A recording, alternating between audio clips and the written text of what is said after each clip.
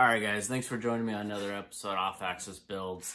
I had a uh, washing machine uh, issue. On the last video, I showed you guys uh, how to get into the diagnostic code. It's really simple. Uh, so you should check that one out. I'll put a link over to that one. Uh, but in this video, I'm going to show you how to replace the uh, switch sensor or position sensor. Um, and that's what that other video was explaining uh, through the codes on the lights. Uh, so anyways, stay tuned um, and I'll show you what we need to do. Now I've already replaced this one, but I'm gonna go through and show you how to get to it, pull it off, wires and bolts and whatever else that needs to be removed to get to it. Uh, it's a fairly simple job. It takes maybe 15 minutes. Um, so anyways, let's go ahead and take a look at it and remember, guys, to uh, like, comment, subscribe, and hit that little bell for upcoming notifications. All right, guys.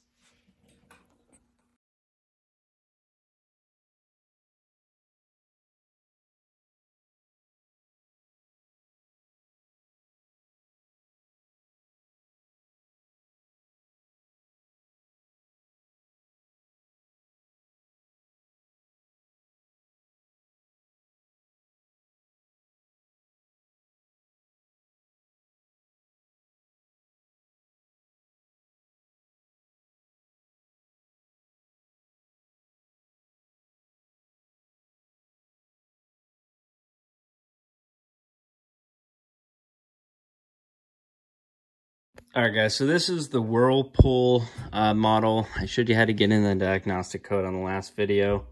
Really easy to do. Um, here's the model. Uh, that's uh, model WTW5000DW1. And I'm sure the switch sensor is in the same location on all of them. Um, so what we're gonna do, since I have uh, no clothes in it, no water in it, we're gonna pull it away from the wall. I'm gonna tilt it, okay? You don't need to put it all the way on its back. Uh, if you feel more comfortable, you can do that. But in order to do that, you're gonna need to unhook the uh, water uh, lines to it. Obviously turn the water lines off. Um, but first things first, we're gonna pull this thing away from the wall and unplug it so there's no power going to it. Okay, and the switch uh, sensor is actually underneath the uh, whole unit, so it's really easy to get to. Let me put you guys on the tripod, and uh, we'll go for it. All right, guys, so obviously before you do anything, you're gonna want to unplug it. So there's no power going to the machine, okay? We're gonna slide it out from the wall.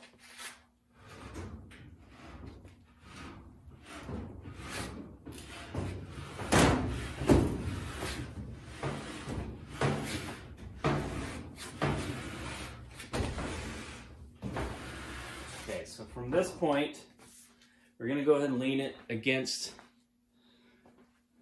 this other uh, unit, the dryer, okay? And you, are gonna get to a point where it's gonna wanna stay, okay? So I'm, a little bit further. Okay, so I'm just kind of test it out, make sure it's not gonna come back on you. Okay. So what we're gonna do is get some lights up underneath it and uh, tripod and I'll show you uh, what, what we're working on underneath. All right guys, so as you approach the machine, okay, the part that you're looking for is gonna be up underneath the back side of the whole machine. So you're gonna remove this cover and the switch is actually right back there, okay?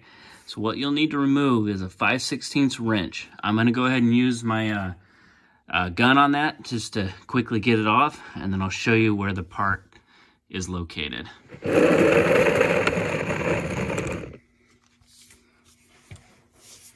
So you have two bolts holding this plastic piece on. You're going to have one right here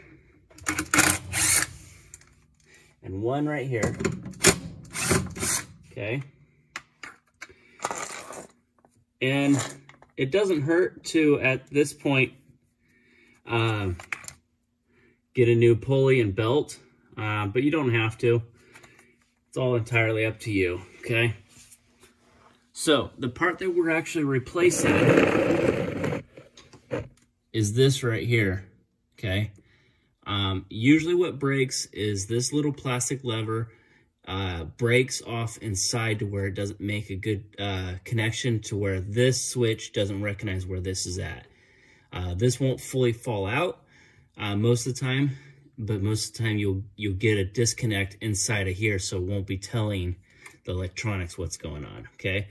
So in order to re remove that, you're gonna get a Phillips here, and there's one more on this side. You're gonna pull those, those two Phillips off, but before you do that, there is electrical connection. Follow these lines. There's electrical connection. Let's see if I can show you. So you're looking for this white connection right here, okay? Real easy to pull off.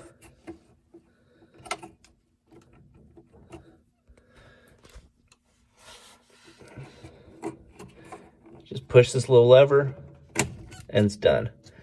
Okay, so once that's done, you're going to remove the two Phillips. Like I said, there's one right here and then one right there. Okay, this thing will come out and you just put the new one in, back in its place. Okay. All right, so we'll go ahead and get this guy removed.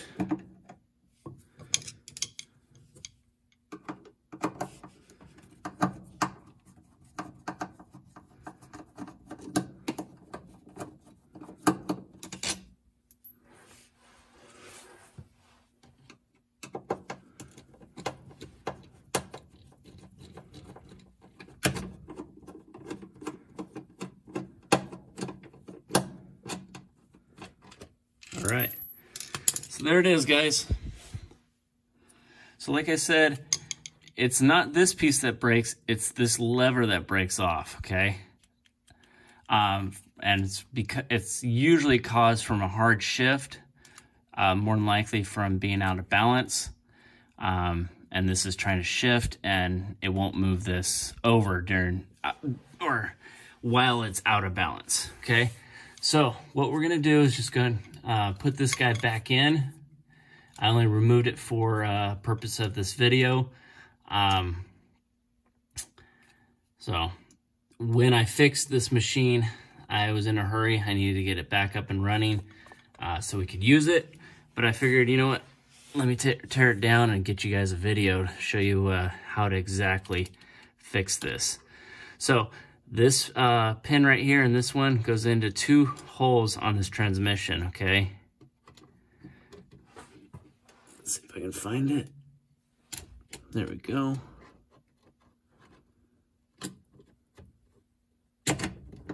Okay. Just go ahead and slide the Phillips screw back in here.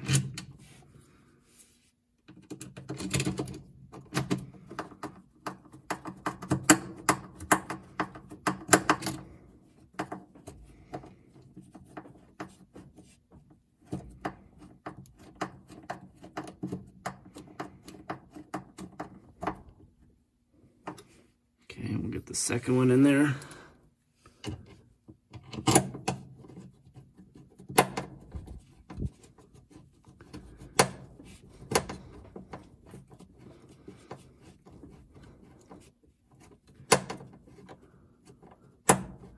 Now don't wrench it down, just put it in snug, okay? It will stop when it's all the way in, okay? Just snug them down. Good. So this connection is real easy to do. It's built in such a way that all you do is slide it on, and this uh, little uh, lever right here will actually hold it in place.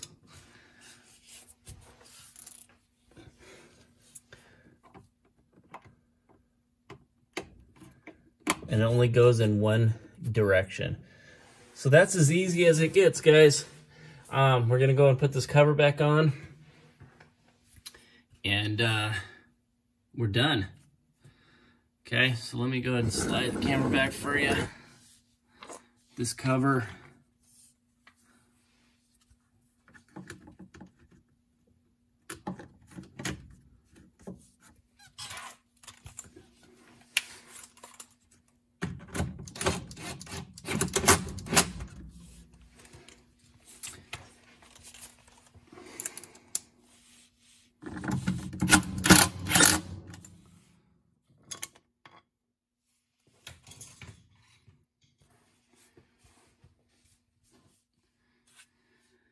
All right, guys, so we're gonna go put this uh, back on the ground and uh, this job is complete.